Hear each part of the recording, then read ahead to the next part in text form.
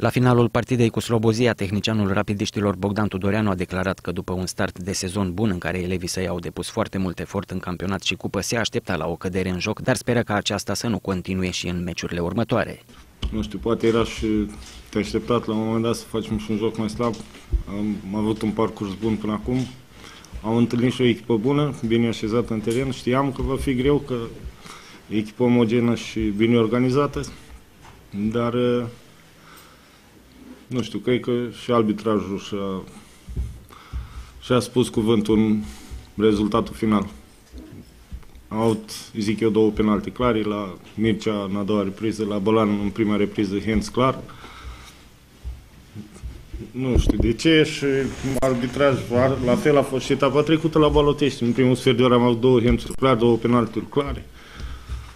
Nu știu, parcă toate sunt contra noastră, toate arbitrajele și cu săgeata, dacă știți, am avut un arbitraj cum a fost el.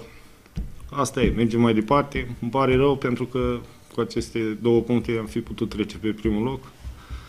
Îmi pare rău, dar sper să ne întoarcem de la, de la BCN cu toate cele trei puncte și să ne menținem în, în plutonul fruntaș. Poate eu am greșit undeva, dar asta e situația. V-am zis, mă așteptam să, să apară și o, o cădere așa pentru că am avut parcursul ăsta bun, am fost și efort mult aproape la fiecare joc și mă așteptam. Dar v-am zis, eu cred că și arbitrii au influențat rezultatul. De cealaltă parte, antrenorul oaspeților Adrian Mihalcea crede că această remiză este una echitabilă pentru ambele formații. Da, mulțumit.